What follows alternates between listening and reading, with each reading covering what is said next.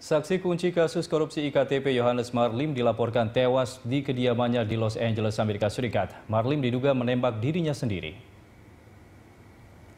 Informasi tentang meninggalnya Yohanes Marlim dilansir CBS Los Angeles, seorang laki-laki itu ditemukan tewas di dalam rumah sekitar pukul 02 dini hari.